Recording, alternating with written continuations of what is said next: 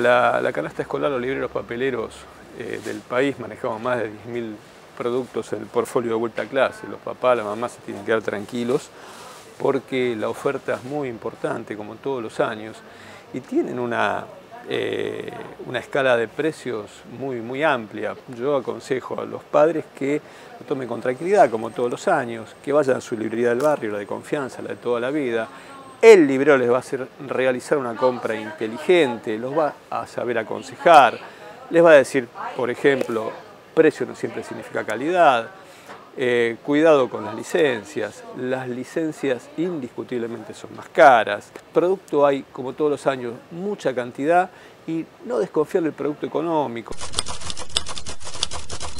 Indiscutiblemente que, que el año 2014 fue un año fue un año movido en materia inflacionaria, sea el 24% que dice el gobierno o el 38% que dice la oposición, cualquiera de los dos números es un número preocupante y no creo que a nadie le cause mucha gracia, ni al gobierno ni, a la gente. Mamá, papá, comparar, mirar la góndola, hay lápices negros que cuestan 2 o 3 pesos, hay lápices que cuestan 9 o 10. Hay sacapuntas que cuestan 2 o 3 pesos, hay sacapuntas que cuestan 15 o 20.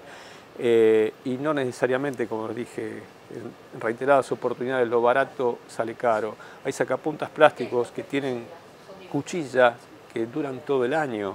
Eh, hay cuadernos de línea económica, hay pinturitas que salen más baratas que un café, un, lápiz de primera marca sale 26, 27, 28 pesos la caja y le dura 12 meses a la criatura. Un café sale, ese mismo dinero dura 5 minutos para que hagamos una correcta composición del lugar. Y después siempre eh, confiar en el comerciante de barrio, de confianza de toda la vida, le va a hacer realizar una compra inteligente, le va a dar consejos útiles, le va a decir precio no es calidad, una lapicera 200 pesos o 15 pesos, las dos son de primera calidad, eh, pinturitas de 40, 50 o 100, pinturitas de 20, 25, 30, no confiar en las licencias, o confiar, pero sabiendo que uno va a pagar un plus adicional.